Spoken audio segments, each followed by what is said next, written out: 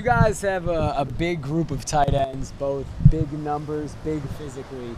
Um, you're you're kind of the, the leader, I guess, um, numbers wise. But how do you guys view the competition um, between really the four of you?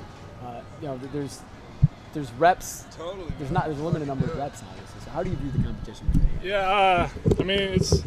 I feel like it's different than most positions. Uh, we're all a close group of friends, um, and we all know we're going to play. So we're not really worried about the reps we get or if we're going to get in the game, like, because we all know the assignments and we all can perform on the field. So just kind of comes down to like, uh, someone needs a breather, someone goes down, we'll have that next guy to go up. So, I mean, we, we like to compete against each other, but there's no hard feelings about someone beating someone else out or anything like that. So I think I think it makes us better and uh, builds chemistry within the unit.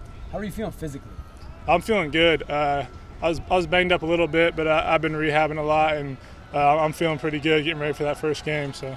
Was it frustrating dealing with injuries? Kind of did a little bit at the end of last year. Yeah, uh, it was a little frustrating. I mean, uh, you try to stay positive because I mean you, you got to. You can't just uh, put your head down, but you know, it gives me a chance to help out the younger guys and kind of uh, look at the game from another perspective and watch more film and just uh, being a little banged up. It's uh, you kind of work on your craft a little more, and uh, yeah.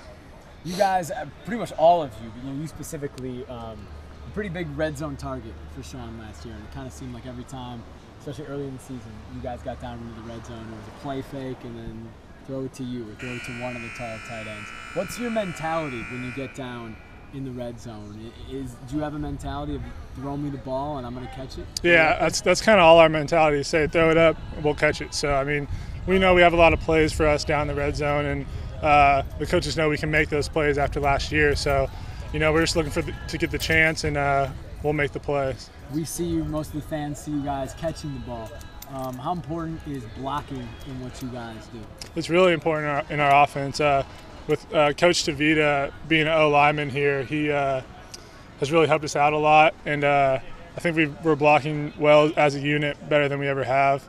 Um, just working on our feet and hands and everything with the with the O line. So that's really important. Um, being a tight end, we have to do that, and we have to be able to run by people, uh, get off get off blocks and routes and stuff like that. So. Is something you have had to work on your blocking? Yeah, I think all, all of us. Uh, I mean, we come in come in from high school. We're all more like a receiver type tight end. So it's just a it's, it's the progress of putting on weight, putting on muscle, and then learning the technique. And uh, think as you get older, you kind of you kind of figure it out and. Uh, your technique gets a little better, and you know the game better mentally, and it makes it a little easier.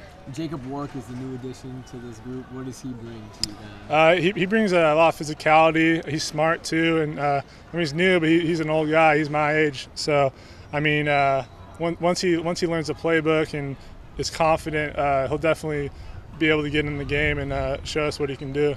Thanks, yeah, thank you.